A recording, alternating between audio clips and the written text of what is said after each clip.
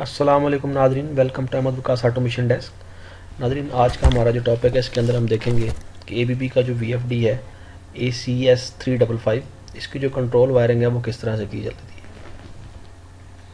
तो आइए चलते हैं ए की कंट्रोल वायरिंग ड्राइंग की तरफ़। तो ये हमारे पास स्क्रीन पे जो है एबीबी स्टैंडर्ड मैक्रो जो है, वो नज़र आ रहा है।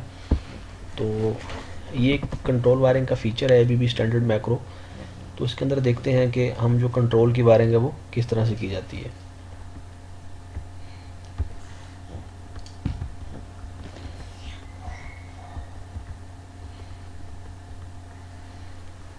तो सबसे पहले अगर मैं स्विचिंग की तरफ़ चलूँ,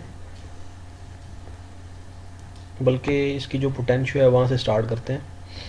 सबसे पहले हमारे पास आ रहा है S C R S C R का मतलब है सिंगल केबल शील्ड यानी जो आपने केबल यूज़ करनी है, उसकी जो शील्ड है, उसको इस टर्मिनल पे कनेक्ट करवाना है। उसके बाद आ रहा है ए आई वन। तो ए आई वन जो है, ये अगर हम मोटर की स्पीड कंट्रोल करना चाह रहे हैं, स्पीड रेफरेंस के लिए, जो हमारी फीडबैक की तार है, ज़ीरो से टेन वोल्ट जो फीडबैक आनी है, उसकी जो वायर है, वो यहाँ पे लगेगी ए आई वन पे। और जी एन डी जो है, ये ग्राउंड है, और पॉजिटिव टेन वोल्ट, ये रेफरेंस वोल्ट है। यानी जो वी एफ़ टी है, वो ज़ीरो से टेन वोल्ट खुद जनरेट कर रहा होता है। आपने ये वोल्ट उठाने और इसको जो है पोटेंशियोमीटर से कनेक्ट करवा के और उसको वेरी करते हुए ए आई वन पे लगा देना है। जिस तरह अगर मैं ड्राइंग देखूँ तो फोर नंबर जो है हमारा, इस फोर नंबर के ऊपर पॉजिटिव टेन वोल्ट लगे हुए हैं और जो टर्मिनल नंबर थ्री है, इसके ऊपर हमारा जो है वो ग्राउंड लगा हुआ है और ये जो है ये पोटेंशियो की फीडबैक है, यानी वेरिएस्टर सप्लाई जो है, जो सप्लाई वेरी होके आ रही है। और जो पोटेंशियो आपने यूज़ करना है वो है वन से टेन किलो होम का। नेक्स्ट है ए आई टू तो इसमें वो बता रहा है कि ये यूज़ में नहीं है। इसी तरह जी एन डी यानी जिस तरह ऊपर हमने देखा कि ये ग्राउंड है। नेक्स्ट हमारे पास ए ओ और ग्राउंड तो हमारे पास नाजरीन दो टाइप के सिग्नल होते हैं। एक वोल्ट का सिग्नल होता है, एक करंट का सिग्नल होता है। तो अगर आपके पास करंट का सिग्नल अवेलेबल है और करंट के सिग्नल को यूज़ करते हुए आप मोटर की स्पीड को जो है कंट्रोल करवाना चाह रहे हैं तो उसके लिए आप जो है ए ओ पे फीडबैक लगाएँगे। यानी जो करंट के सिग्नल की नेगेटिव होगी वो ग्राउंड पे लगाएँगे और उसकी जो पॉजिटिव होगी वो आप ए ओ पे लगाएँगे। और इसकी जो वैल्यू है वो है ज़ीरो से ट्वेंटी मिलियन पेयर तो ये थी स्पीड uh, कंट्रोल करने का मेथड नेक्स्ट हम देखते हैं इसके अंदर कि हमारे जो स्विचिंग है उसके पॉइंट कौन कौन से हैं।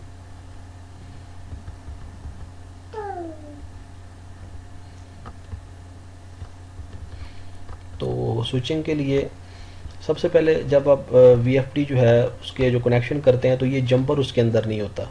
यानी ग्राउंड को उसने डी कॉम यानी डिजिटल इनपुट उसने कॉमन की हुई है नेगेटिव उसने कॉमन की है तो सबसे पहले ये टेन और अलेवन पे जो है, ये जंपर लगाना है।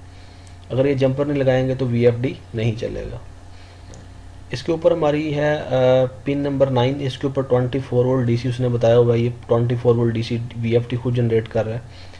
ये 24 फोर वोल्ट डीसी की जो पिन है यहाँ से आपने एक वायर उठानी है और वो स्विचेस जिनके थ्रू आप इसकी वायरिंग को स्विच करवाना चाह रहे हैं इसको चलाना चाह रहे हैं ये 24 फोर वोल्ट डीसी उठा के आपने स्विच पे ले जाना जिस तरह उसने यहाँ पे स्विच लगा रखा है। और उस स्विच की जो फीडबैक है वो आपने डी आई वन पे कनेक्ट करवानी है। तो इस फीचर के अंदर ये बता रहा है कि अगर आप 24 फोर वोल्ट डीसी को जो है डी आई वन के साथ स्विच करवाएँगे तो ये आपका इन्वर्टर स्टार्ट या स्टॉप का काम करेगा। यानी अगर सप्लाई जो है वो ज़ीरो पोजीशन में ऑफ़ होगी तो आपका वी जो है वो स्टॉप रहेगा। अगर वन पे आ जाएगी, यानी ऑन हो जाएगी तो आपका वीएफडी जो है वो स्टार्ट हो जाएगा। इसी तरह डी आई टू जो है इसके अंदर फॉरवर्ड और रिवर्स की ऑप्शन है। डी आई थ्री अगर किसी कॉन्स्टेंट स्पीड पे आप चलाना चाह रहे हैं तो उसके लिए आप डी आई थ्री को जो है वो लैच करवा देंगे। इसी तरह डी आई फोर जो है, ये भी कॉन्स्टेंट स्पीड के लिए और डी आई फाइव ये है एक्सलरेशन और डी एक्सलरेशन सिलेक्शन के लिए। तो इंशाल्लाह नाजरीन, जब हम नेक्स्ट इसकी पैरामीटर प्रोग्रामिंग की तरफ़ चलेंगे तो हम ये देखेंगे पैरामीटर प्रोग्रामिंग के अंदर कि हमने किस तरह से सिलेक्शन करनी है इसकी। स्विचेस की जो सिलेक्शन है, उसकी ऑप्शंस पैरामीटर के अंदर मौजूद है। वायरिंग के अंदर जो हमारे पास सबसे लास्ट पोर्शन है, उसके अंदर ये बड़े दो इंपॉर्टेंट जो हैं वो पॉइंट्स हैं, ये मैं आपसे शेयर करता हूँ। वी एफ़ डी के अंदर नाजरीन दो रिलेज होती हैं, जिस तरह इसने लिखा हुआ है R zero com R zero N C R zero N O इसकी पिन नंबर है सेवनटीन एटीन और नाइनटीन तो ये जो रिलेज होती हैं, इनका काम होता है कि अगर during running V F D किसी रीज़न की वजह से ट्रिप कर जाता है तो आप ट्रिप का सिग्नल जो है वो यहाँ से इन रिलेज के थ्रू ले सकते हैं अपनी पी एल सी पे, या जो भी आप कोई इंडिकेशन फ़र्ज़ करें, आपको इंडिकेशन ऑन करवाना चाह रहे हैं कि जब फॉल्ट आए बी पे तो इंडिकेशन ऑन हो जाए, जिस तरह उसने ड्राइंग के अंदर लगाई हुई है। तो आर ओ कॉम जो है, ये इसकी कॉम सप्लाई है। यानी आप, आपने जहाँ पे जो सप्लाई देनी है, वो आपकी कॉम होगी।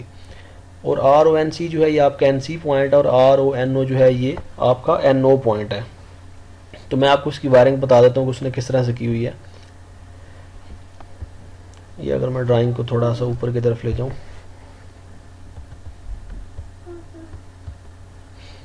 तो ये देखिए नादरीन उसने ड्राइंग के अंदर, यहाँ से जो है वो ग्राउंड उठाई हुई है। ग्राउंड को उठा के उसने जो एलईडी उसने लगाई है इंडिकेशन उसके एक पॉइंट पे दे दी है। और अगर आप पिन 17 पे देखें तो इसको इसने पॉजिटिव वायर से कनेक्ट किया हुआ है। पॉजिटिव वायर जो है वो और, ओ कॉम के कॉमन पॉइंट पे, यानी रिले के कॉमन पॉइंट पे उसने दे दी है। और जैसे ही फॉल्ट आएगा तो ये कॉमन पॉइंट जो है एन ओ के साथ शॉर्ट हो जाएगा। और जो आउटपुट है वो आर ओ एन ओ पे आना शुरू हो जाएगी। यानी हमारी जो पॉजिटिव सप्लाई का रूट है, वो इधर से स्टार्ट होगा। यानी पॉजिटिव 24 वोल्ट वाली पिन से स्टार्ट होगा और इधर से होते हुए पिन नंबर 17 पे आएगा और थ्रू रिले कॉन्टेक्ट जो है, ये सप्लाई हमारी पिन नंबर 19 से कनेक्ट हो जाएगी। और पिन नंबर 19 के सामने हमने इंडिकेशन लगाई हुई है और ये जो इंडिकेशन का दूसरा पॉइंट है, वो डायरेक्टली ग्राउंड के साथ कनेक्ट है। तो इस तरह जब भी इस पर फॉल्ट आएगा तो जो फॉल्ट की इंडिकेशन है वो ऑन हो जाएगी। तो आप इस सिग्नल को डिफरेंट पर्पजेज के लिए यूज़ कर सकते हैं। डायरेक्टली इंडिकेशन भी लगा सकते हैं या पीएलसी जो है पीएलसी के ऊपर भी इसका सिग्नल जो है आप ले सकते हैं। तो ये था नादरीन आज का हमारा टॉपिक जिसके अंदर हमने कुछ कंट्रोल वायरिंग जो है वो इसका मेथड डिस्प्ले करवाया है। नेक्स्ट इंशाल्लाह हम इसकी पैरामीटर प्रोग्रामिंग की तरफ़ चलेंगे और उसको डिटेल में देखेंगे। नादरीन इसके अलावा हमारे पास तमाम P L C Siemens Mitsubishi Fatek Delta इनके प्रोग्रामिंग कोर्सेज अवेलेबल हैं। उसके अलावा वी एफ़ टी और सर्वो की जो प्रोग्रामिंग ट्रेनिंग है, वो भी करवाई जाती है। नाजरीन इस टॉपिक से रिलेटेड अगर कोई भी क्वेश्चन हो तो आप मुझे मैसेज कर सकते हैं, मुझे ईमेल कर सकते हैं। मेरा जो व्हाट्सएप नंबर है, वो पेज पे मौजूद है। और लास्ट में सब दोस्तों से रिक्वेस्ट करूँगा कि मेरे चैनल को लाइक और सब्सक्राइब करें, ताकि जो लेटेस्ट वीडियो हैं, वो टाइमली आप तक पहुँच सकें। थैंक यू सो मच दो में याद रखिएगा। अल्लाह